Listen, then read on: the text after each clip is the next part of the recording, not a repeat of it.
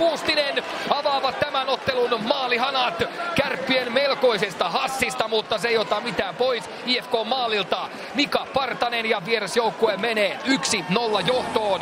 Tilanteen takana kuitenkin kärpät vaihtaa, sitä uusia pelaajia tulee jäälle Mikko Niemelä muun muassa. Ja sitten on Puustinen puolittain karkaamassa läpi. Laatikainen polkee takaa, Puustinen vie kämmenelle ja pistää kiekon sisään! Juuso Puustinen vie IFK kohtoon.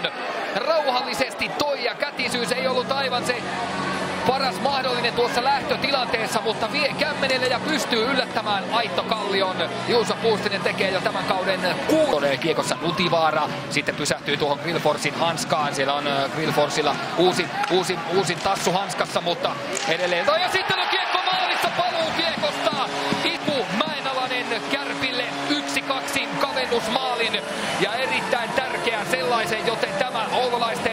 Nelosketju molempien joukkueessa Teuvo Teräväisen vierellä. Mäenalainen nautiskeli tarjoilusta. Peli on 1-2, joten molemmat joukkueet ovat onnistuneet toisen erän alkuun maalin teossa ja lisää on tulossa!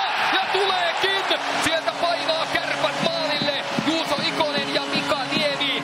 Ja peli tasoittuu kahteen kahteen ennen kuin sieltä ovat viimeiset makkarajonosta ehtineet takaisin katsomoon. Erän jälkeen, että erä oli yksi parhaista tänä syksynä, vaikka he olivat tappiolla, niin varmasti on samaa mieltä ollut Törmänen ja sitten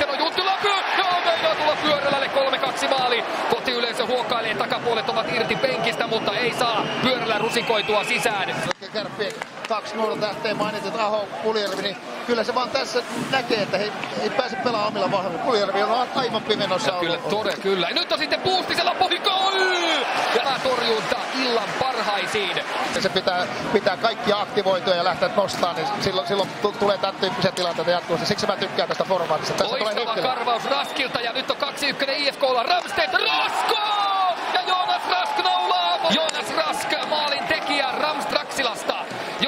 Rask itse nappasi kiekon pois Nutivaaralta. Antti Törmänen lyö tassua yhteen siellä valmennustiiminsä kanssa. IFK